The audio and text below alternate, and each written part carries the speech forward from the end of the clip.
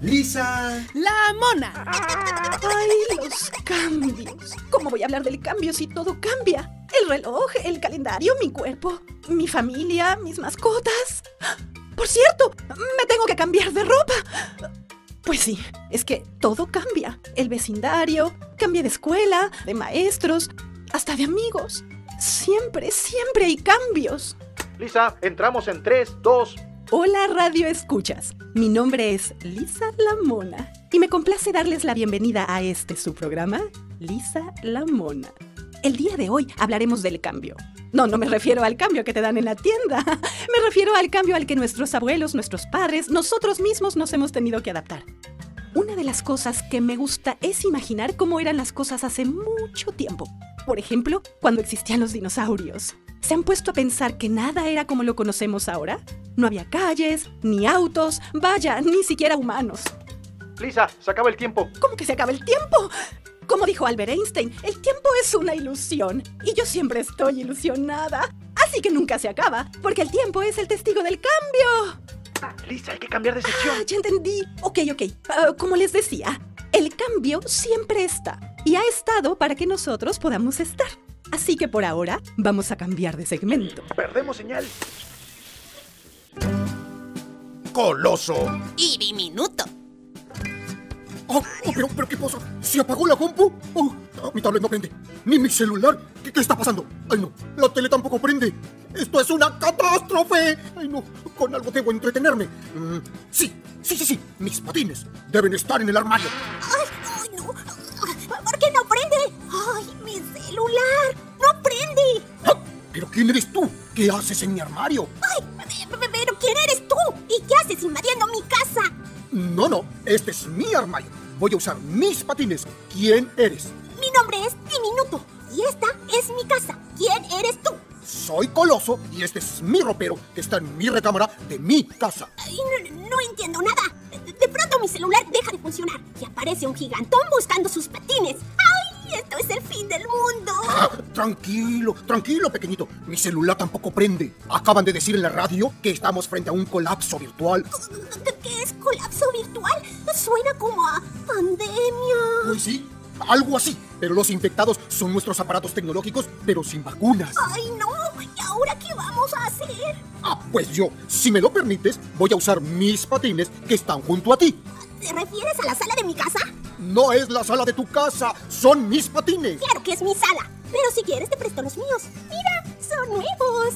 ¿Cómo comprendes? Esos patines son tan pequeños que no me quedarían ni en una uña. No es una negociación. Yo soy mucho más grande que tú, así que hasta un lado voy a usar mis patines. A mí no me vas a intimidar con tu tamaño. Los seres chiquitos tenemos mucha fortaleza. ¿Ah, sí? ¿Qué cosas dices? Yo soy fuerte y si quiero te puedo aplastar. Estás muy equivocado. Fíjate bien. Cuando los dinosaurios, que eran seres enormes, se extinguieron por ese meteorito que impactó la Tierra, los seres que lograron sobrevivir eran los más pequeños. Por ejemplo, tortugas, algunas serpientes e incluso estrellas de mar. Así es que, gran dolor, no me vas a venir a asustar por tu tamaño. Bueno, eso es cierto. Mira, a ver, vamos a hacer un trato. Ya que no tenemos cómo entretenernos, ¿podemos patinar juntos? Mm, bueno, no suena mal. Eh, pero antes, eh, ¿qué te parece si aprovechamos tu tamaño, tu fuerza y mi creatividad para construirme una nueva sala? Oh, pues parece divertido. Anda, vamos a intentarlo.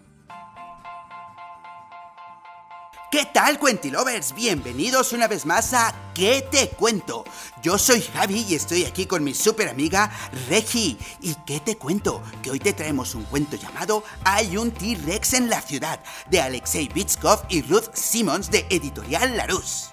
Y es que este cuento está increíble porque habla de qué pasaría si realmente en estos tiempos tuviéramos un T-Rex en nuestra ciudad. Que yo flipo, esto es increíble. Te plantea preguntas como ¿cómo sería si un T-Rex fuera tu mascota? O ¿qué pasaría si un T-Rex fuera a la escuela? ¡Qué locura!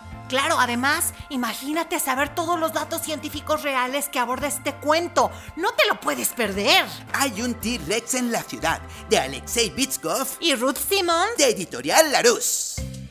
Entra Lisa en 3, 2, 1. Ay, ya estoy de platicona y ni siquiera me he presentado. Yo soy Lisa la Mona. Vivo en los más altos árboles de la selva.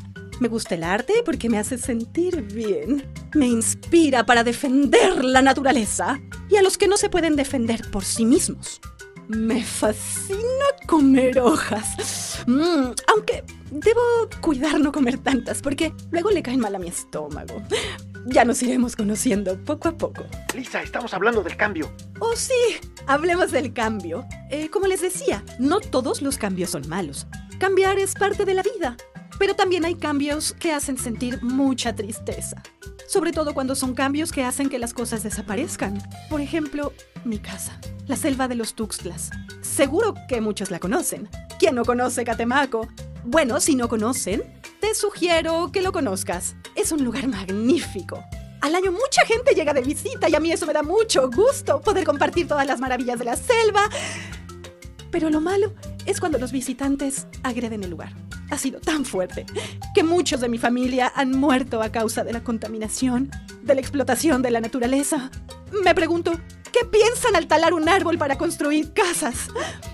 Eso implica que el clima cambie y es muy probable que no sobrevivamos a esos cambios.